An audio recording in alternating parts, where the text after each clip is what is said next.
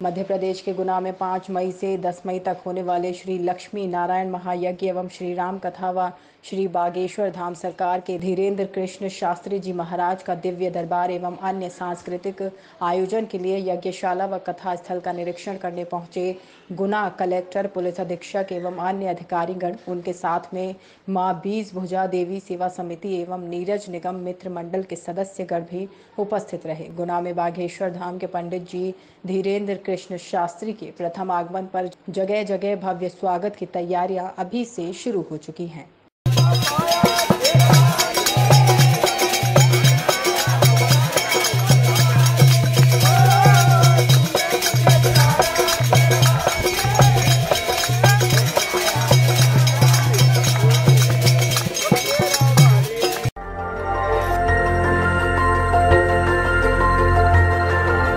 देखते रहिए डीबी भारती समाचार नज़र हर खबर पर।